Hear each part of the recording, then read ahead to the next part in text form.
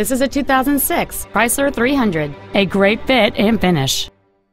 The refined six-cylinder engine, connected to a four-speed automatic transmission, is both responsive and well-controlled.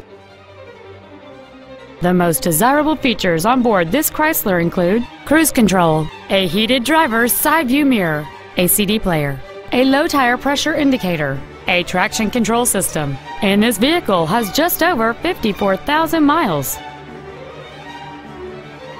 Contact us today and schedule your opportunity to see this car in person.